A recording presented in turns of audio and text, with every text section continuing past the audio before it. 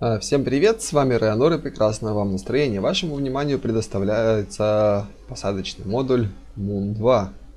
Ну а также не просто посадочный, а еще модуль, который а, сможет до- добраться до непосредственно до Муна. А Что здесь особенного? А особенное в том, что я начинал строить этот модуль непосредственно с, э, с, точ- с той стороны, то есть я начинал вот с, с с этого места его строить. Для чего? Потому что если мы хотим, чтобы subassembly сработали, да, нормально, а, нужно с- настроить именно с той части, которая присоединяется и пристыковывается. То есть если в прошлый раз у меня а, я начинал строить отсюда, да, у меня здесь не было никаких мест, ничего не было занято, то есть я поэтому смог его перевернуть вверх ногами без особых проблем. А здесь же я хочу, чтобы у меня он шел э, вперед, что называется, ногами, вперед головой. Так, единственное, что вот этот вот дело заберем. Да, нюанс еще. Вот здесь вот у меня висит э, э, канистра у контейнера. Она весит 150 килограмм, да? А вот здесь вот на противоположной стороне и даже немножечко вот здесь разбросаны элементы э, той же весом общим 150 килограмм, которые а, позволяют, э, что называется, компенсировать перевес. Ну, вот такой модуль. Э, да, в нем отрегулировано топливо на различных уровнях, чтобы не превышать, опять же, массу в 10 тонн. Так, ну что ж, модуль в принципе готов к установке. И чтобы его засунуть в Subassemblies, нужно взять за ту часть, которую мы хотим, что называется, перенести, а в данном случае это весь модуль, и сделать его, назвать его, как мы его хотим, Moon 2. Ну, э, собственно, все. Теперь мы можем спокойно загружать наш э, Hammer 1. А, в Hammer 1 мы сразу отрегулируем э, скорость подачи топлива до 61, наверное, с половиной или 60. Давайте 60 с половиной. Вот так вот сделаем. А, сохраним его сразу. И к нему, так, вот эта штука мне будет не нужна, это лишнее. И выставим сверху Moon 2.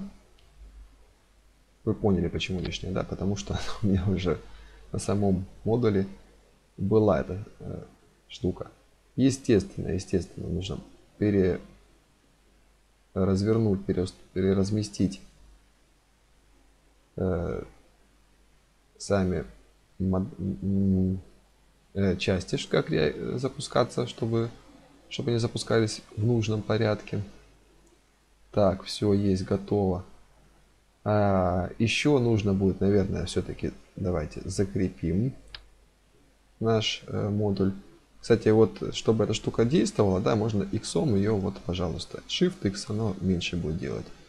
А, мне нужно 3, а C это точность закрепления. То есть закрепление будет идти вот, например, сюда, да, а потом сразу резко переходить на другие места. Либо я смогу вообще сам, сам выбрать, э, как мне это поставить.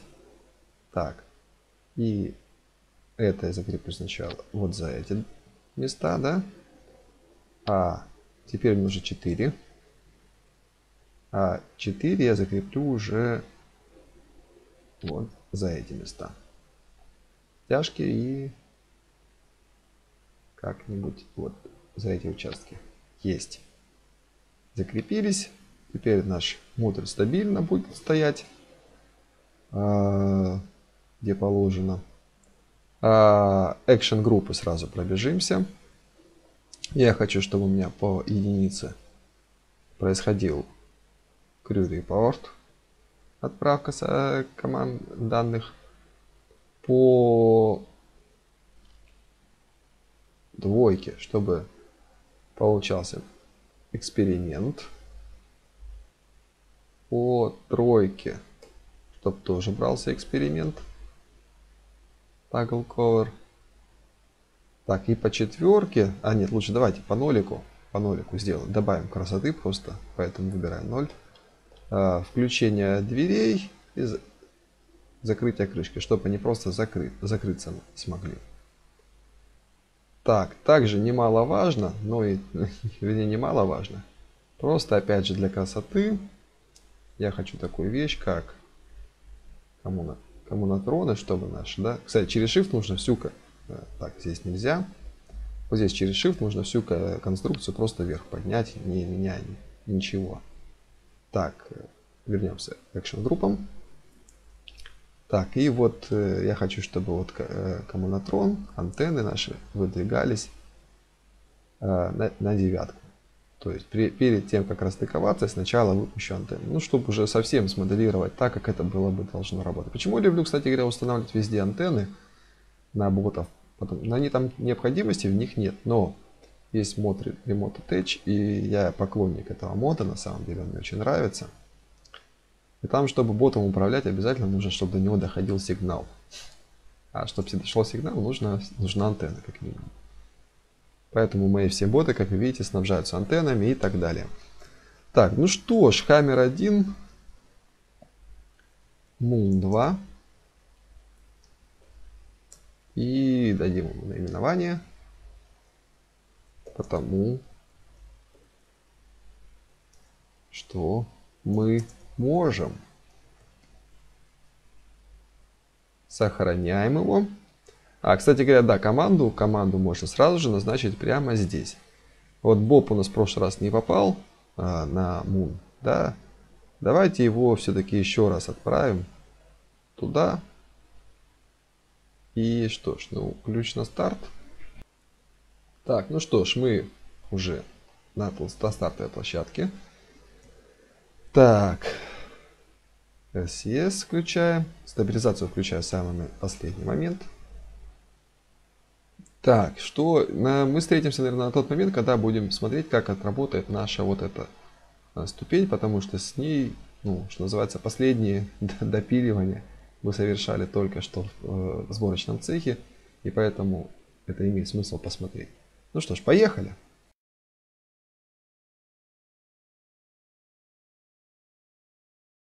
И так как вы видите, сейчас модуль как раз таки практически догорает. Вот, и практически с ним заканчивается топливо. Давайте посмотрим уже, насколько одновременно, не одновременно это произойдет. Буквально чуть-чуть, чуть-чуть, чуть-чуть остается доработать ступени. То есть таким результатом я уже доволен. Отцеливаем ступень. Ну что ж, встретимся на орбите.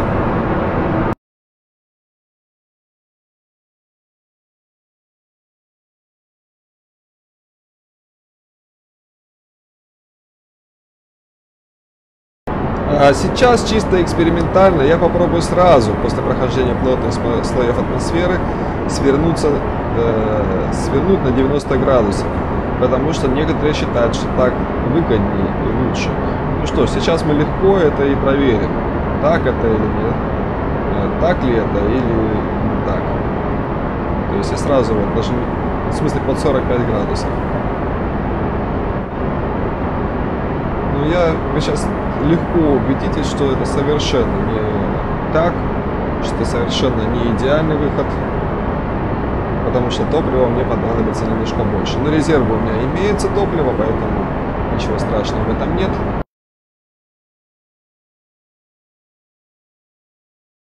И вот, как вы видите, в прошлый раз я на отбрасывание ступени, да, погасил скорость. И здесь я уже был на совсем другом угле, на совсем другой высоте, был на 90 градусов.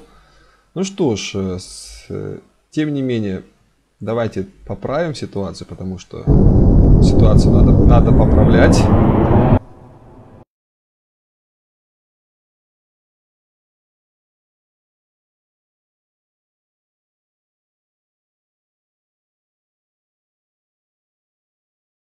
Так, и Используя оставшееся немного топлива, которое у нас еще есть э, в самом модуле разгонном, да, разгонном блоке, я сейчас э, немножечко подкорректирую орбиту, а, то есть э, угол наклонения под, подправлю, хотя он и так минимален, конечно.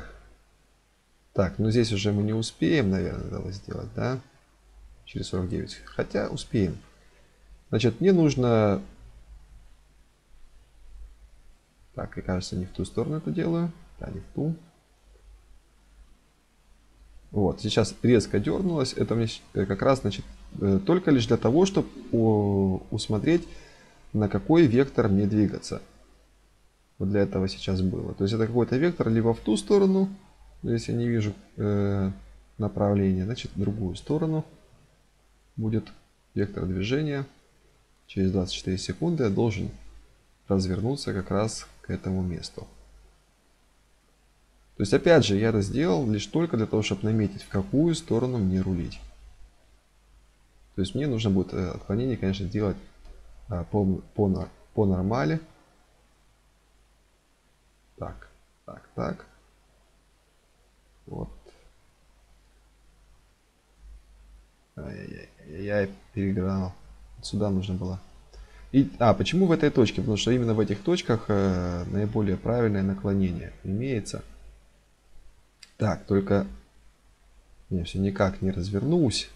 Уже даже немножко опаздываю. Но, в принципе, тут это не столь критично. Совсем не критично, я бы сказал. Так. Тут главное точность, а не, а не скорость. И вот смотрим. Аккуратненько смотрю, потихонечку газую совсем. Все. Наклонение 0. То есть теперь наша орбита, хоть и меньше, но она идеально совпад... лежит в идеальной плоскости с орбитой Муна. Так, ну что ж, расстыковка, приземление Э, модуля произойдет уже на ускоренной записи. Единственное, что я переименую э, корабль сразу же.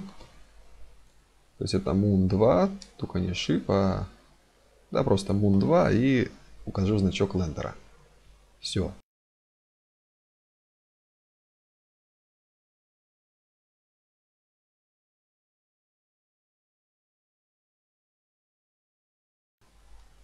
Совсем забыл, нужно по девяточке было выдвинуть антенны. Вот, теперь все правильно.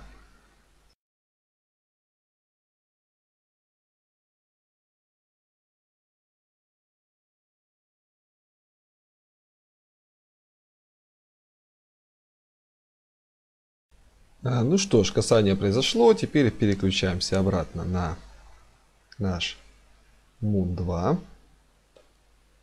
Так, только сначала нужно вырубить двигатели. Ну и что ж, э, спланирую орбиту, э, прилечу на Мун. Да, чтобы идеально спланировать орбиту, нужно взять э, наше, провести вект, угол, да, вот до центра нашей орбиты. И где-то под 90 градусов получается в эту сторону, да. Так, так, где-то вот здесь получается надо брать делать маневр. Это, это, это правда справедливо только для Муна. Для других объектов может быть иные значения. То есть все зависит от скорости движения объекта. Но, как правило, чуть-чуть заранее. И начинаем можно вот так вот крутить, вертеть, смотреть, а где вы попадете идеальней. Вот этот, например, не совсем за 90 градусов маневр меня вполне-вполне устраивает.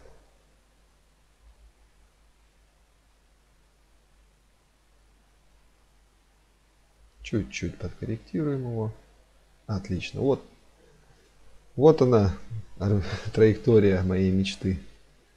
Что называется. То есть орбита мне вполне. Так, РСС можно выключать, у меня его все равно нету. Хотя это, конечно, может быть э, проблемным при гашении боковых скоростей, при торможении. Ну, ничего страшного. Так, ну что ж, и, и нам пора, как бы, да, уже говорят. Да, нам бы еще неплохо бы для этого включить двигатель сам. Ого, немножечко момент разгона пропущен. Начальный получается. Ну ничего. Как раз сразу, когда и на все Что ж, момент торможения, э, разгона и приближения к самой орбите я э, промотаю. Встретимся уже поближе к Луне, к Муну.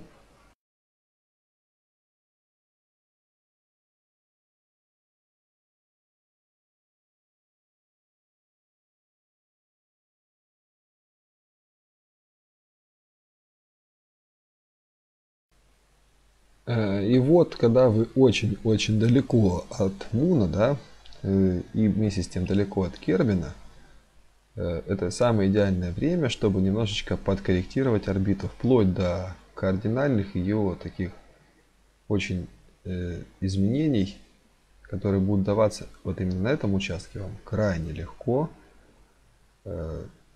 крайне элементарно, то есть вообще какими-то жалкими-жалкими крохами.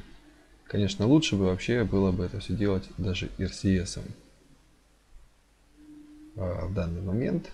Вот, пожалуйста, один, один из вариантов выхода на гравитационную катапульту.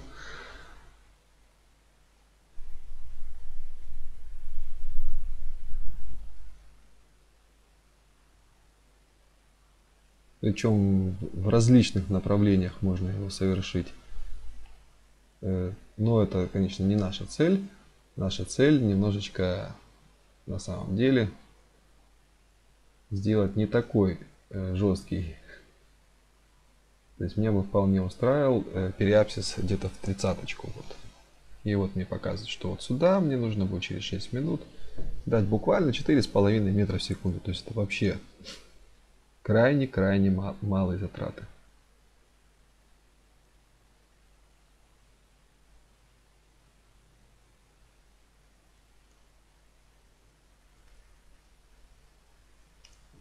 И вот давайте сделаем это.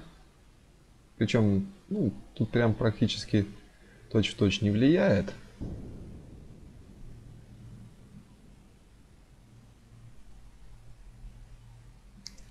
Ну, вот так. Так, ну что ж, давайте к Луне. Планируем маневр торможения. Причем, если с случаем если мы не хотим понижать да, сильно э, периапсис наш, то в случае, если с, э, с апогеем, если мы хотим именно поднимать апогей, то нужно немножко за, а если мы хотим э, понижать, да, э, как раз таки, не понижая при этом перигей, то лучше немножко э, до, после маневра начинать. В таком случае вы получите, ну, что называется, не не, ваши перигеи практически не изменятся по высоте. Вот смотрите, я кручу, он... Хотя нет, чуть-чуть, я слишком, слишком уж переборщил. Вот, вот таким образом, да. То есть, ну, все-таки нужно чуть-чуть как-то ну, смотреть, куда вы попадаете. Потому что четко в самом апогее, конечно, у вас перигей весь маневр прям сразу выложить ну, не получится. Так, ну ладно, в принципе, общие маневр я вижу, куда мне нужно делать. А там уже дальше будем смотреть по обстоятельствам. Под, подкрутим, что называется.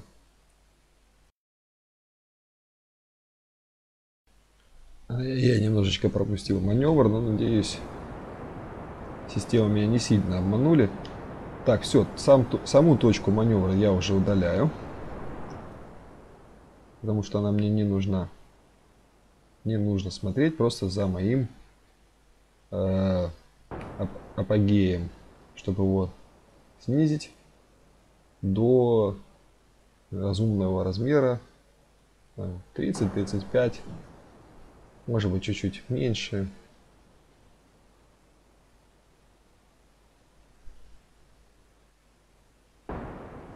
Кстати говоря, чем выше у вас орбита, да, тем над такими телами, как Мун, тем больше, конечно, у вас времени идет на остается на гашение. На гашение ваших боковых скоростей. А, вообще сам э, маневр э, приземления да, на, на Moon да, состоит из трех этапов. Первый, ну то есть из четырех даже этапов. Первое это орбита, стабилизация. Но это не обязательный этап, который можно пропустить, поэтому все-таки из трех. Значит, первое это корректировка вашей траектории. Вот сейчас этот маневр я и планирую.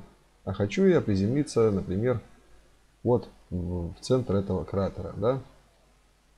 Вот сейчас я совершаю, я планирую, то есть, ну, то есть делаю маневр, планирую, который будет как раз таки для первого этапа корректировка э, траектории. Вот, э, то есть мы готовы к маневру, ищем его. Второй этап это гашение горизонтальной скорости э, по отношению к объекту, по отношению к поверхности, то есть чтобы поверхность у вас была э, полностью погашена горизонтальная скорость. Ну и, и третий этап непосредственно уже сама посадка, то есть э, плавное торможение уже непосредственно по вектору э, объекта. Так, секундочку. Так. Ага. Мы уже почти над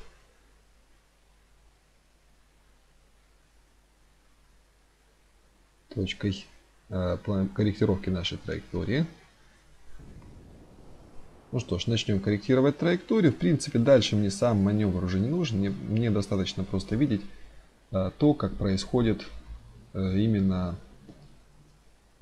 изменение нашей траектории. То есть я хочу сесть вообще где-то в центр данного кратера. Да? Вот таким образом я и оставляю траекторию.